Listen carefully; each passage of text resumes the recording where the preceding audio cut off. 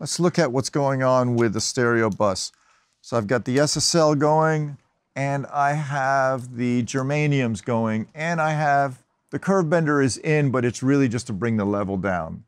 Although when you put in a curve bender, it tends to open up a bit in sound. I don't know, it's going through all the circuits and it just, uh, it feels really good. So even if there's no EQ, it, it opens up the sound a little bit. So uh, inherently by, by activating the curve bender, it's doing something to it.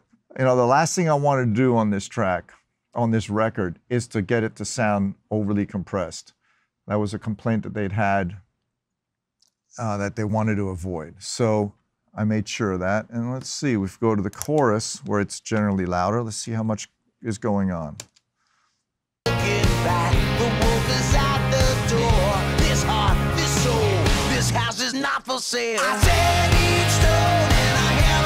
It's, you know, it's barely three.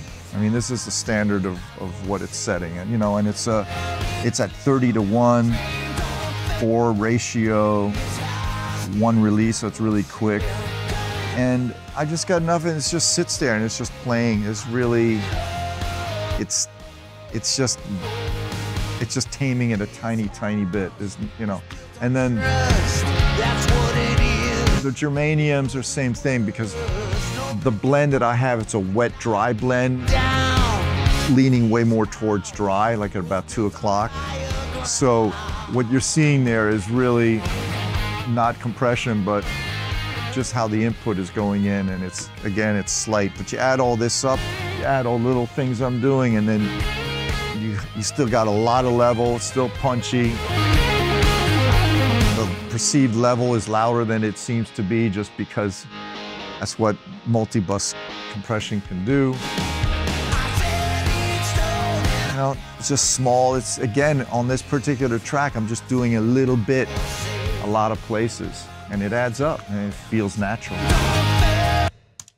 All right, so let's see how this works. At, at my seminar, what I do is I show, I'll put up the tracks um, and I'll just send it to the stereo bus without any of my ABCD.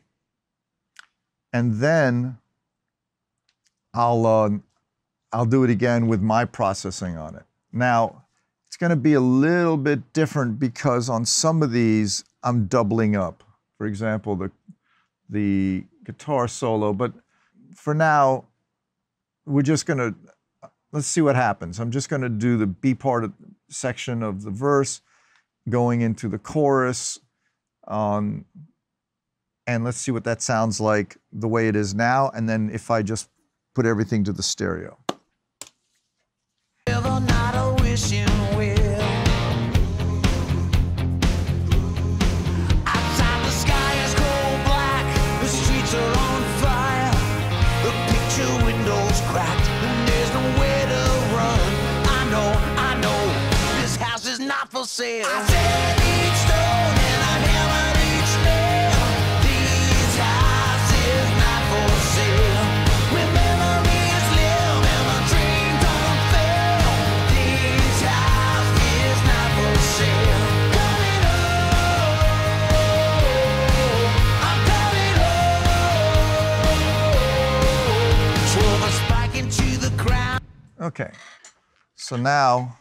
we'll just take all that off and put it through to A and see what happens.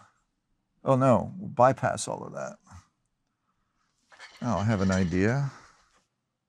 I'll take B off, take C off, take D off, and then we'll just send stuff to here.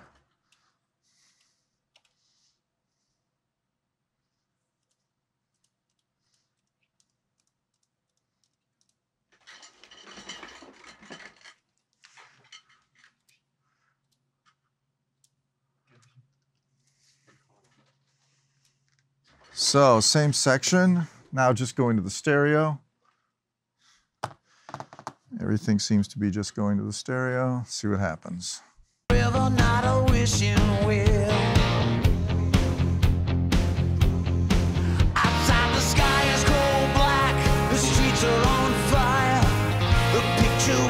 is cracked. I know, I know, this house is not for sale.